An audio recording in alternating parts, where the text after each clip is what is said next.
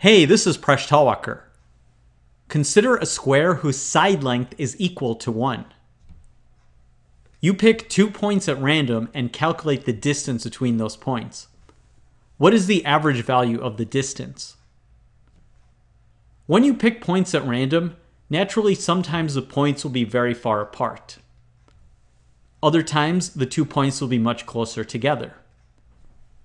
The question is, Given all the different ways that you can pick two points at random, what will the average distance be between the two points? Give this problem a try, and when you're ready, keep watching the video for the solution.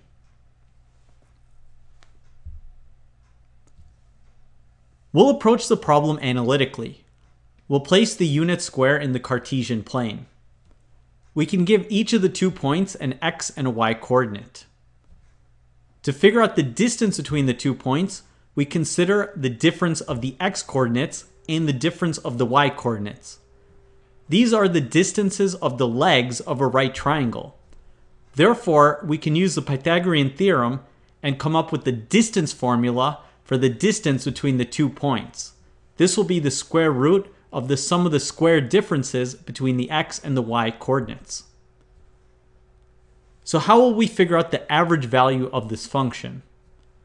The first method I'll present is we can generate random numbers for our coordinates, come up with a distance, and then take the average over many trials. The next method I'll present is we'll get an exact answer with integrals. So let's first come up with an estimate. Let's estimate our answer numerically. We want to generate four coordinates, the x and y coordinates for the first point and the x and y coordinates for the second point. In each trial, we'll compute the distance between these two points. We'll then take the average over many trials. We can generate a random coordinate between 0 and 1 using the rand function, which generates a random number between 0 and 1. In each trial, we'll take the distance by calculating the square root of the difference of the x coordinates squared and then adding it to the difference of the y coordinate squared.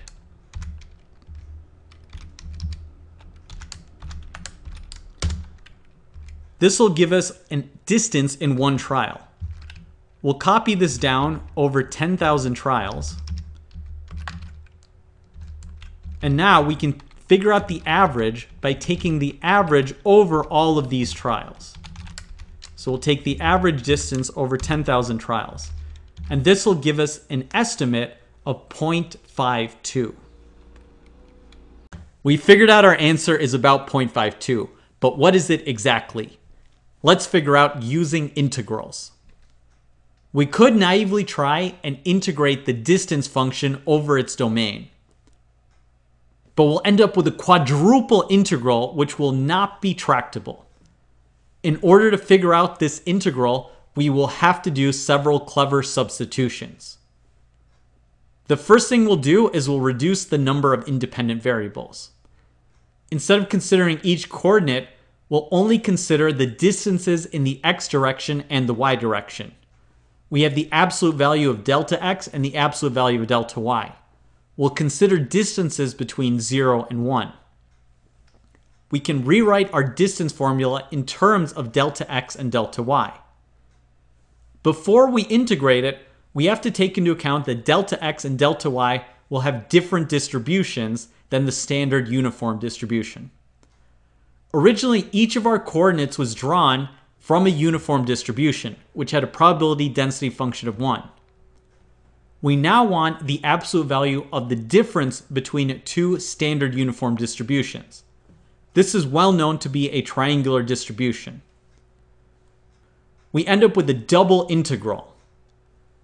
In our probability density function, we have two factors of 2, which come out to be a factor of 4. We then have the distance formula in terms of the x and y distances, and then we have the 1 minus x times 1 minus y to take into account the probability density functions. So now, how do we figure out this double integral? We're going to make a change into polar coordinates we'll let x equals r cosine theta and y equals r sine theta. Instead of integrating over the whole unit square, we'll only integrate over the lower half triangle, and then we'll double the value of this integral. The angle theta ranges between 0 and the 45 degree line. So theta ranges between 0 and pi over 4. Next, we want to know the range of the radius r. r starts out as 0, and it will range depending on the angle theta. Since the base of this triangle is always 1, the value for r will be 1 divided by cosine of theta, which is also equal to secant theta.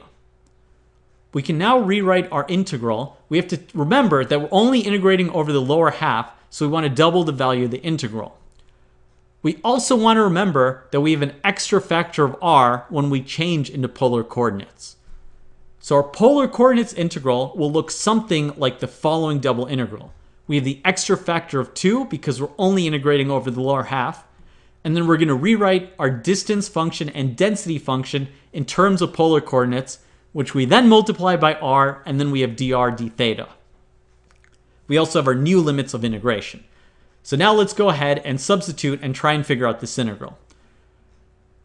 We input our polar coordinates for the, for the distance function and for the probability densities. We can then simplify this. We have r squared cosine squared of theta plus r squared sine squared of theta this will simplify to be just r squared because cosine squared of theta plus sine squared of theta is equal to 1. So our entire square root ends up just being r. We have technically the absolute value of r, but we're only dealing with positive r, so it just ends up being r. We can expand this out and we have a polynomial in terms of r. This will not be too hard to compute. We'll substitute in our limits of integration and it simplifies tremendously into one single integral.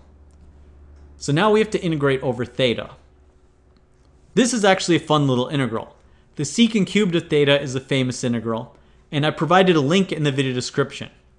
I'll just go ahead and use the formula here. We now substitute in our limits of integration, and we end up with the following result when all is said and done. 2 plus the square root of 2 plus 5 times the natural log of square root of 2 plus 1 all over 15. And this is approximately 0.521, which is very similar to what we got in the spreadsheet. Did you figure it out? Thanks for watching this video. Please subscribe to my channel. I make videos on math and game theory. You can catch me on my blog, Mind Your Decisions, which you can follow on Facebook, Google+, and Patreon. You can catch me on social media at Presh And if you liked the video, please check out my books. There are links in the video description.